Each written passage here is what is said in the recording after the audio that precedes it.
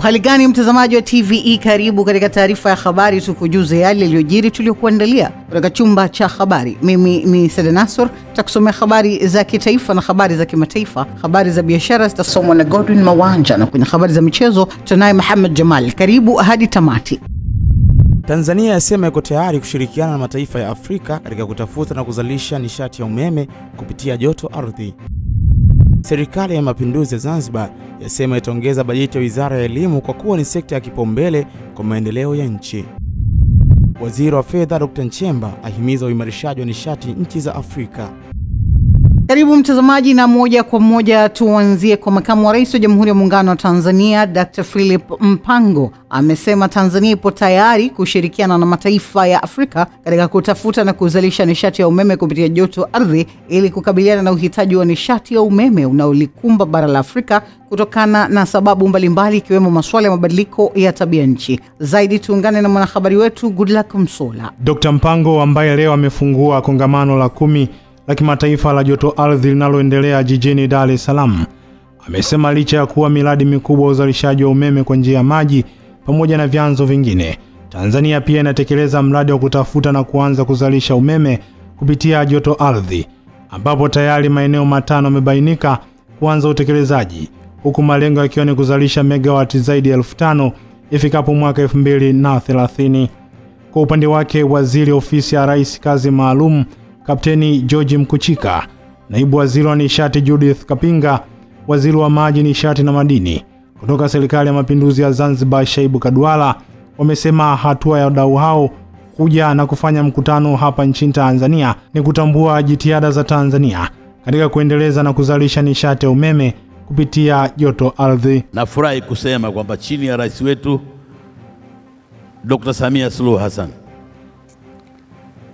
tumepeleka umeme zaidi ya asilimia 97 98, na mpaka kufika Disemba mwishoni tutakuwa tumefikisha umeme katika vijiji vyote. Hiyo ina maana gani?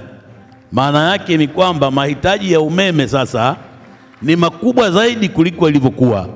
Kwa hiyo wakati tunafikisha umeme kila kijiji, lazima tuongeze uzalishaji wa umeme. Zanzibar tunatumia umeme ambao unatoka Tanzania bara.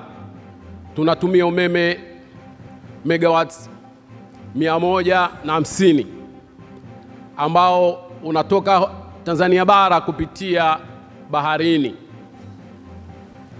Mahitaji yetu kwa sasa ni zaidi ya umeme huo hapo.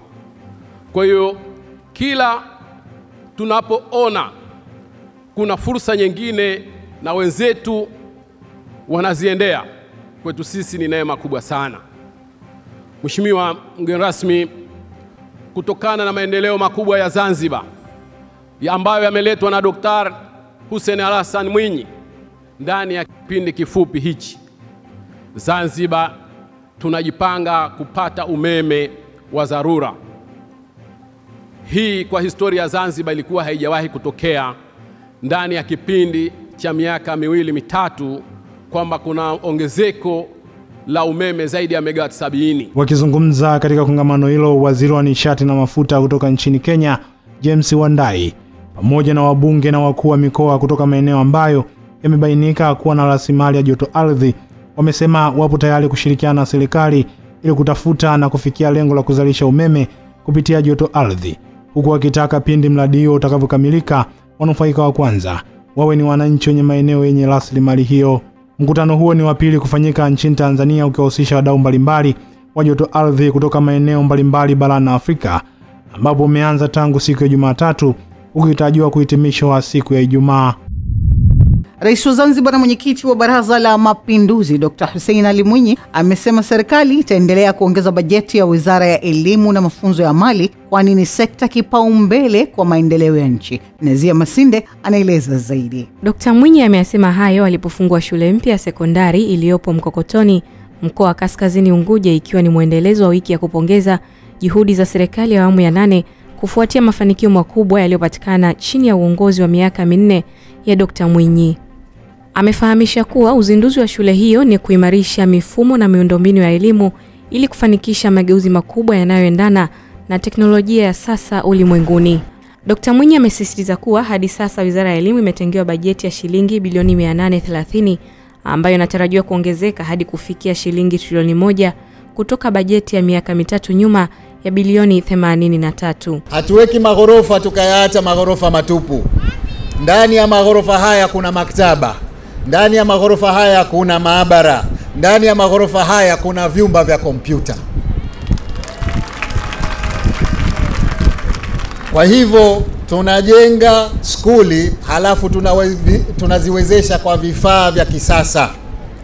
Leo nimeingia humo ndani, nimekutana na vijana maktaba, wamekaa pale wakanipa taarifa, nikaenda kwenye maabara tena, vijana wanazungumza kwa, kwa kujiamini. Unaona kabisa kwamba tuna vijana walioelimika walichokuwa wanahitaji ni mazingira bora. Sasa tumewapa mazingira bora, mimi sina shaka watafanya vizuri. Naye waziri wa elimu na mafunzo ya amali Zanzibar, Lela Mohamed Musa, amemsifu na kumpongeza Rais Dr. Mwinyi kwa kubeba jukumu la kuiletea mageuzi makubwa sekta ya elimu kwa kuweka fedha nyingi za kutekelezwa miradi mbalimbali mbali ya elimu. Akitoa taarifa ya ujenzi wa shule hiyo, katibu mkuu Wizara ya Elimu na mafunzo ya amali Khamis Abdalla Said amesema ulianza mwezi Mei 2023 na kukamilika Oktoba 2024 ambapo umegharimu kiasi cha shilingi bilioni 6.1 huku ikiwa na madarasa 42, vyoo 52, chumba cha kompyuta, maabara na maktaba. Skuli hiyo itachukua wanafunzi 1890 kwa mkondo mmoja. Mkuu wa mkoa wa Kaskazini Unguja Rashid Hadid amesema Serikali ya Mapinduzi ya Zanzibar imetenga shilingi bilioni 50.2 kwa ajili ya miradi ya elimu kwa mkoa huo ambapo hadi sasa zaidi ya shilingi bilioni 40.9 zimetumika kwa ujenzi wa ghorofa sita kwa maeneo mbalimbali ya mkoa huo. Waziri wa maendeleo ya jamii, jinsia, wanawake na makundi maalum Dr. Dorothy Gwajima amewataka wananchi kutoa ushirikiano kwa vyombo vya ulinzi na usalama ili waweze kumkamata mwanaume mmoja anayefahamika kwa jina la Nyangwe Chacha aliyekuwa akiishi kata ya Usimba wilaya ya Kaliua ambaye anadaiwa kuwaua watoto wawili wa mke wake na kisha kuwafukia ndani na kutokomea kusikojulikana, tukio ambalo imetokea mwaka wa 2022. Waziri Dr. Gwajima ametoa wito huo wakati akizungumza na wananchi wa kata ya Usimba wilaya ya Kaliua akiwa katika ziara ya kikazi mkoani Tabora ambapo pamoja na mambo mengine amesisitiza wazi kwamba wazazi kuwa karibu na watoto wao ili kubaini viashiria vya vitendo vya ukatili mapema kutokana na kukithiri kwa matukio ya ukatili hasa kwa watoto. Lengo la serikali ni kubwa, inatekeleza sera ya elimu ya kutaka kila kata iwe na sekondari, ambapo kwenye eneo hili la Usimba hakukuwa na sekondari na leo tunaiona. Hivyo maono ya Dr. Samia Suluhu Hassan kufanya Watanzania wapate elimu yanatekelezwa kikamilifu. Mkuu wa mkoa wa Tabora Paul Chacha ameeleza jitihada za kuendelea kumsaka mwanaume huyo anayedaiwa kutekeleza tukio hilo la mauaji, huku akiahidi donge nono kwa atakayefanikisha taarifa za upatikanaji wake. Bwana ana jina kama mimi Chacha, mnamkumbuka? Na nilitangaza kipindi kile nikasema, atakaye mkamata huyo mtu au akaionyesha serikali au polisi kwamba yule Chacha aliyenyonga watoto wawili wa mke wake akawafukia ndani yupo mahala fulani, nilisema nitatoa milioni kumi. Sasa naongeza, yeyote yule atakayejua yule mtu yupo wapi, mimi nitampatia milioni ishirini kutoka mfukoni mwangu. Kusema mna mkuu wa mkoa mzuri sana, pigeni makofi. Msipompa ushirikiano nyinyi, yeye hatampata. Nyinyi mnamjua aliko. Kuna watu hapa hatutaki kuwajua ni kina nani, lakini nyinyi wenye taarifa, nendeni mkamwambie, kwa sababu juzi ametoka kukamata tena lijambazi limoja lilikuwa linaua tu wazee, yaani kazi yake ni kuua wazee, likapotea miaka kumi. Hata hivyo, waziri Dkt. Gwajima katika ziara yake mkoani Tabora amezindua na kuweka jiwe la msingi kwenye shule ya sekondari Usimba iliyopo wilayani Kaliua, mradi ambao umegharimu zaidi ya shilingi milioni 600.5, lakini pia amezindua bweni la wanafunzi wenye mahitaji maalum katika shule ya msingi Urambo linalogharimu shilingi milioni 120, ambapo pia amezindua vyumba vitatu vya madarasa katika shule ya sekondari Ulolangulu wilaya ya Uyui, mradi wenye thamani ya shilingi milioni 78. Waziri wa uchukuzi Profesa Makame Mbarawa amesema Tanzania imepiga hatua kwenye sekta ya usafirishaji ikilinganishwa na mataifa ya Afrika Mashariki kwa kile alichokieleza kuwa kupitia treni ya SGR mtu anaweza kwenda Dodoma na kurudi kwa siku moja, jambo ambalo halikuwezekana kipindi kilichopita. Hazla Umari anatuarifu zaidi. Akizungumza wakati wa ufunguzi wa mkutano wa 17 wa sekta ya usafirishaji uliokutanisha wadau wa sekta hiyo, Profesa Mbarawa amesema awali kutoka Dodoma hadi Dar es Salaam wasafiri walilazimika kupoteza siku nzima barabarani. Kama mnavyojua, tuna SGR amefanya kazi na kazi nzuri inaendelea. Tumeanza usafiri wa Dar es Salaam mpaka Dodoma sasa, ambapo zamani watu wakitumia karibuni masaa tisa kwa ajili ya mabasi, sasa hivi wanatumia masaa matatu, na kuanzia wiki inayokuja tutakuwa na trip sita za kutoka Dar es Salaam mpaka Dodoma. Maana yake nini? Naweza kutoka asubuhi Dar es Salaam saa kumi na mbili ikifika saa nane ukarudi kwenda Dodoma, ukifika saa nane ukatoka Dodoma kuja Dar es Salaam. Haya ni maendeleo makubwa, kwa vile ukikutana na wadau mbalimbali watakueleza shida gani ama changamoto gani inakutana nazo kwenye sekta ili kutatua. Kwa vile madhumuni makubwa hasa ni kuzungumza changamoto na maendeleo ya sekta ya uchukuzi. Awali mwenyekiti wa kamati ya kudumu ya bunge ya miundombinu Suleimani Kakosa ameviomba vyuo vinavyojihusisha na utoaji elimu ya masuala ya usafirishaji wahakikishe wanatoa vijana mahiri. Uwekezaji wa miundombinu unahitaji ukarabati. Sasa kama hatujaweza kuwekeza kwenye vyuo ambavyo vitawafanya waweze kukarabati mitambo ambayo itakayokuwa inaharibika, serikali nayo itaingia gharama kubwa kwa ajili ya ukarabati.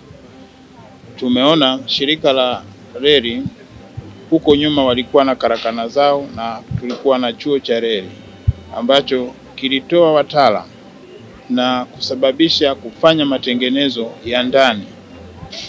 Tumewashuhudia wataalamu wanaokarabati vichwa vya treni, wanakarabati mabehewa.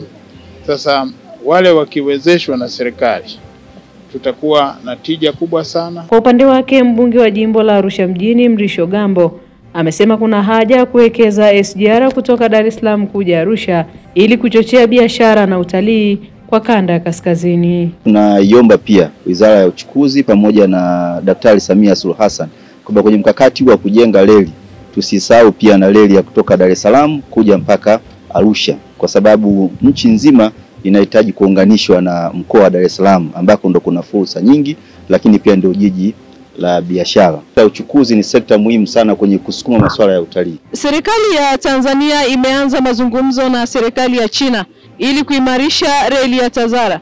Lengo ni kupunguza usafirishaji wa mizigo kwa njia ya barabara.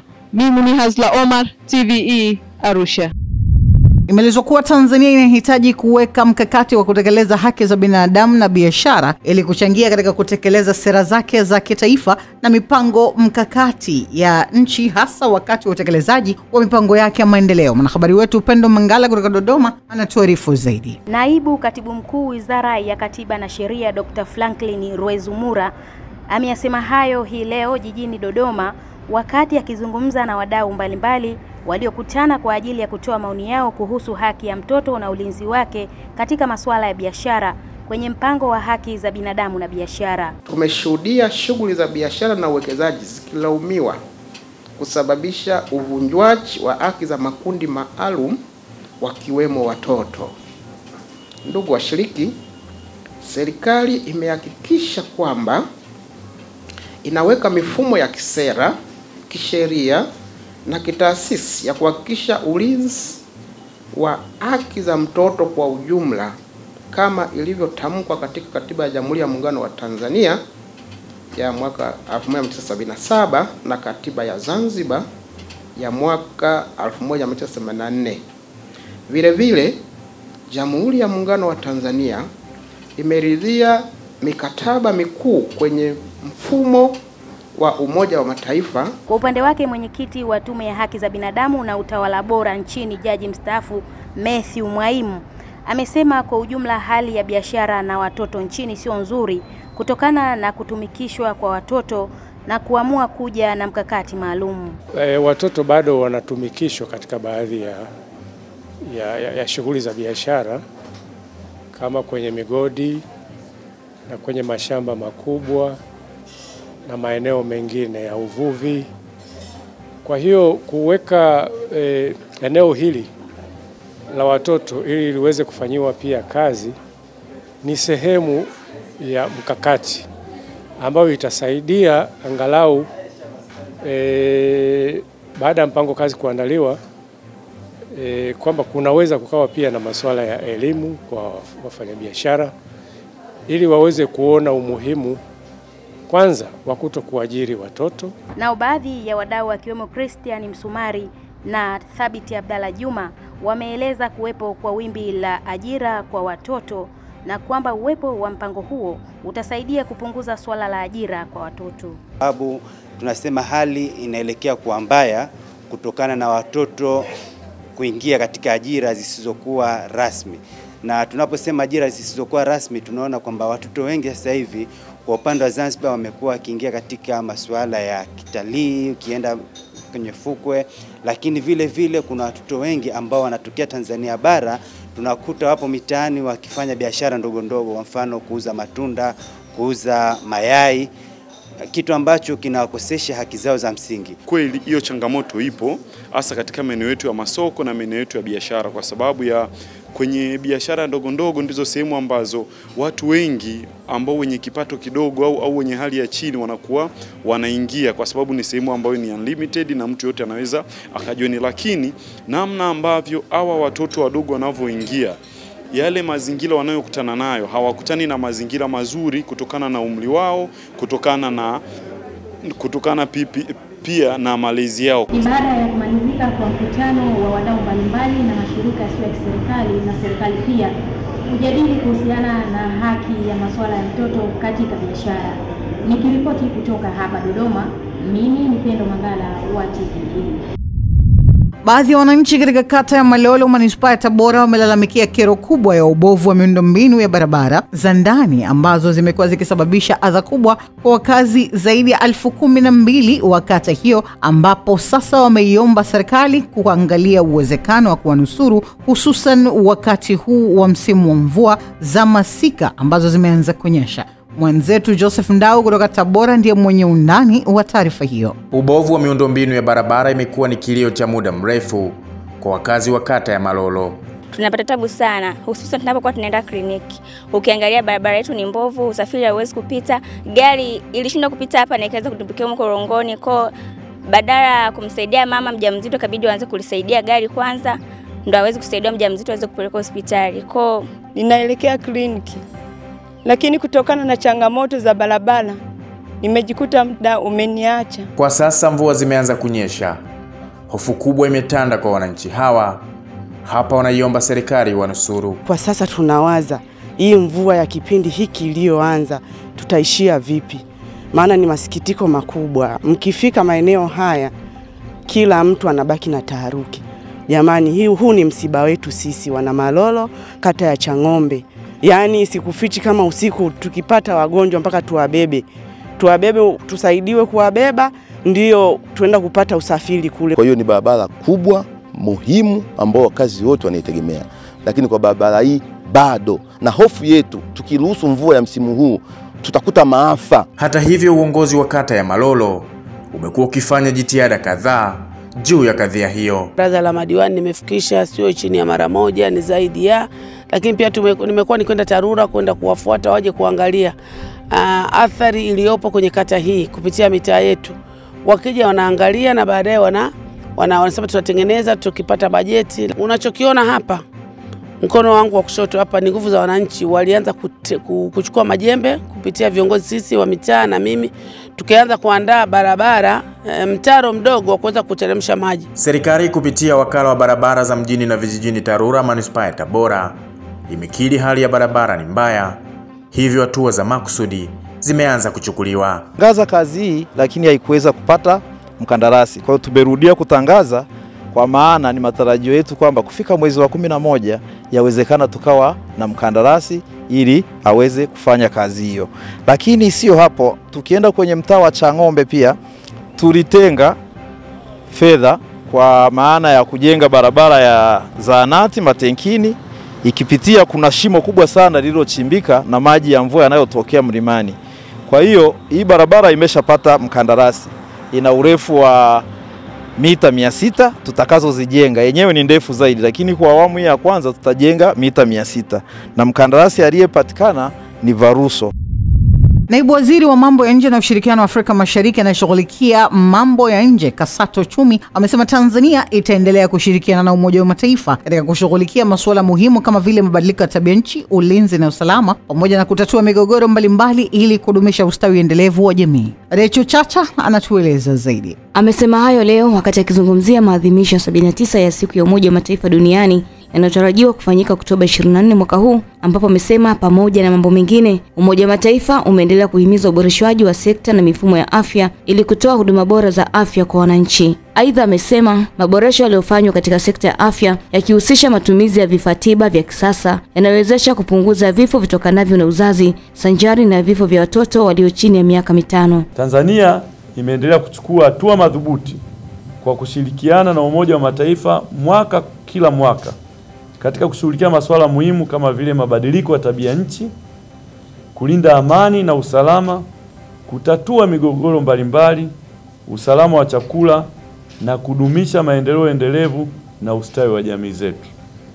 Tunachukua hatua zote muhimu ili kulinda maliasili zetu na kuhakikisha ustahimilivu wa muda mrefu kwa ukuaji wa uchumi na maendeleo yetu ya sasa na ya baadaye. Kwa upande wake, kaimu ratibu mkaazi wa Umoja wa Mataifa nchini Mark Brian Schreiner amesema Umoja wa Mataifa utaendelea kusimamia amani na haki ili kuwezesha ustawi endelevu wa nchi zote wanachama.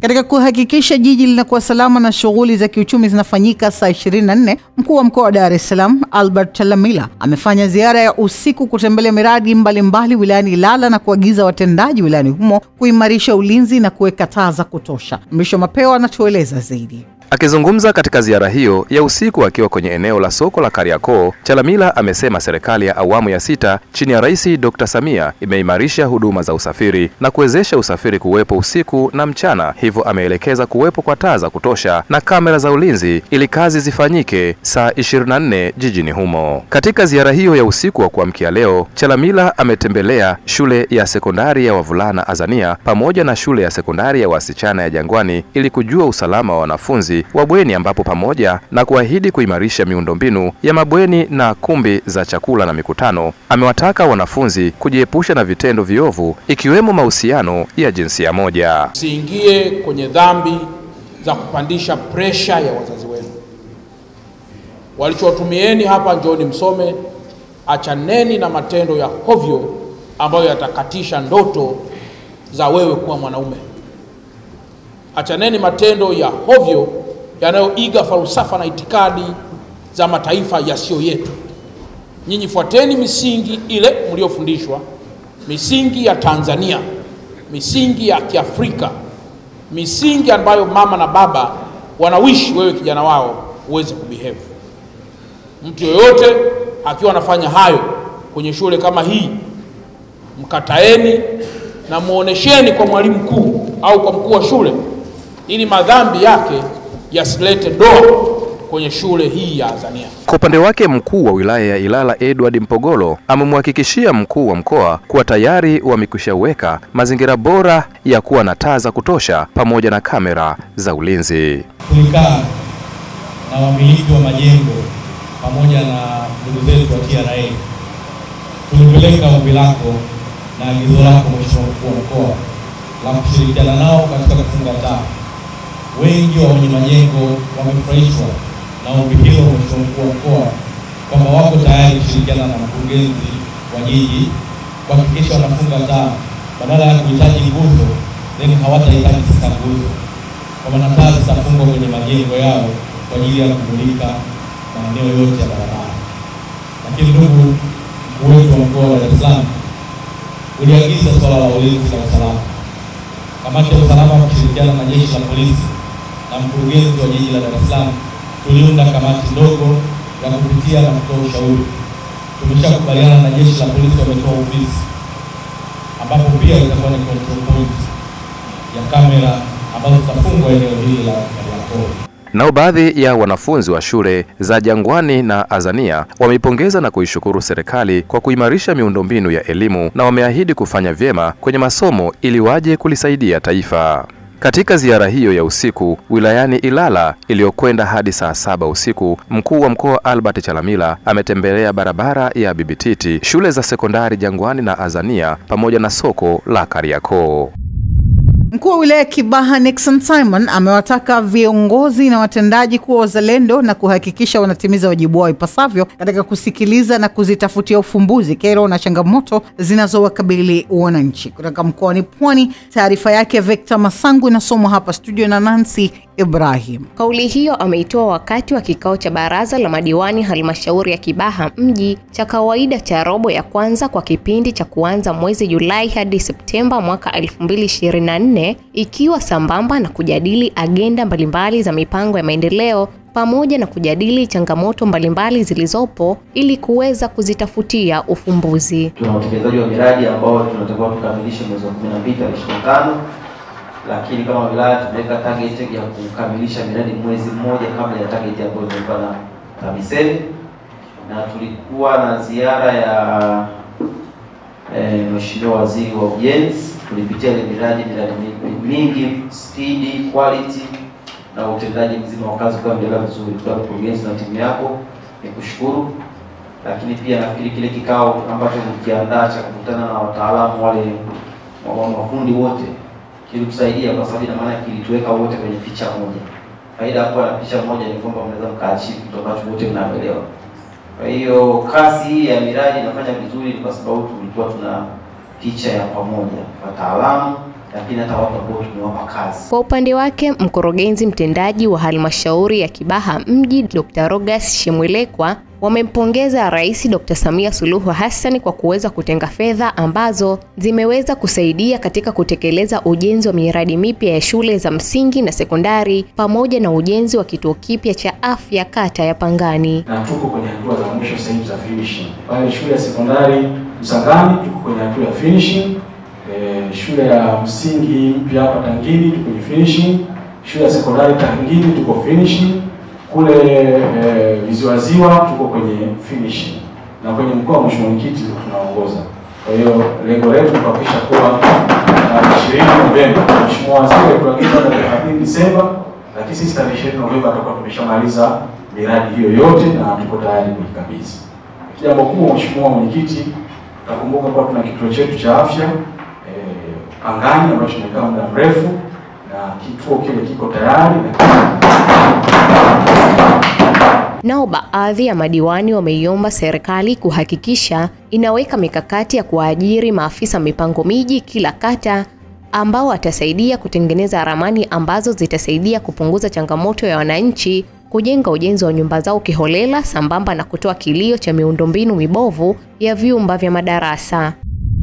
Jeshi la polisi mkoa wa Shinyanga limekamata jumla ya watuhumiwa 14 waliokuwa wakijihusisha na matukio mbalimbali ya uhalifu ikiwemo gari aina ya skani ambalo lilikuwa likitumika katika wizi wa mazao. Mamvita Mkondo ameandaa taarifa zaidi kutoka mkoani Shinyanga. Akizungumza na waandishi wa habari, kaimu kamanda wa jeshi la polisi mkoa wa Shinyanga ACP Kennedy Mgani amesema katika kufanya doria, misako na operesheni mbalimbali kuanzia Septemba 26 hadi Oktoba 22, 2024 walifanyikiwa kukamata watuhumiwa hao na vielelezo mbalimbali. Tumekamata pombe ya moshi lita 87, gari moja aina ya Scania ambayo ilitumika katika wizi wa mazao, redio tano, mitambo miwili ya kutengenezea pombe ya moshi, chupa 23 za pombe aina ya Hanson Choice ambayo pombe ambazo zimepigwa marufuku, TV tatu, dikoda moja, antena moja, Twitter mbili, meza mbili za plastiki na viti sita vya plastiki, pamoja na pikipiki tano, drill mashine mbili, rota moja, hard disk moja, betri ndogo mbili za sora, pamoja na inventa moja, vitu ambavyo vinahisiwa au tunaendelea kuchunguza kwamba vimepatikana sivyo halali, kwa maana ya kwamba mali ya wizi na vingine vimekamatwa katika msako mbalimbali kuhusiana na matukio mbalimbali ya uhalifu ambayo yametendeka ndani ya kipindi hichi ambacho tumekitaja. Jeshi hilo kwa upande wa kesi mahakamani limepata mafanikio ambapo kesi mbili za kubaka washtakiwa wawili wamehukumiwa miaka 30 kila mmoja jela. Kesi moja ya unyang'anyi wa kutumia nguvu ilikuwa ina watuhumiwa sita, ambapo watuhumiwa wote sita wamehukumiwa kwenda gerezani miaka ishirini na miezi mitano pamoja na kuchapwa viboko kumi kila mmoja. Vile vile kuna kesi moja kupatikana na bangi, mshtakiwa amehukumiwa miaka 30 gerezani. Kesi moja ya shambulio, mtuhumiwa amehukumiwa miezi sita gerezani. Kesi moja ya shambulio la kudhuru mwili, mshtakiwa amehukumiwa miezi kumi na mbili gerezani. Kesi moja ya kujeruhi, mtuhumiwa amehukumiwa miaka mitatu jela. Upande wa usalama barabarani, jeshi hilo kupitia kikosi cha usalama barabarani limemfungia dereva mmoja leseni yake ya udereva kwa kipindi cha miezi mitatu kwa kosa la kuendesha gari la abiria kwa mwendo kasi. Pia katika pia jeshi la polisi mkoa wa Shinyanga kupitia kikosi cha usalama barabarani limemfungia dereva mmoja leseni ya uendeshaji wa gari baada ya kupatikana na kosa la kuendesha gari kwa spidi ya kilomita 100 kwa saa, mwendo ambao ni hatarishi, kwa amefungiwa leseni yake kwa muda wa miezi mitatu. Vile vile tumefanikiwa kukamata jumla ya makosa 4385 ya barabarani Kutoka makao makuu ya jeshi la polisi mkoa wa Shinyanga, mimi ni Mwamvita Mkondo. Mtazamaji, hii ni TVE Habari, na sasa tupate mapumziko mafupi na kisha tutaendelea na taarifa yetu ya habari. Kifuatacho ndani ya TVE Habari. Waziri wa Fedha Dr. Nchemba ahimiza uimarishaji wa nishati nchi za Afrika.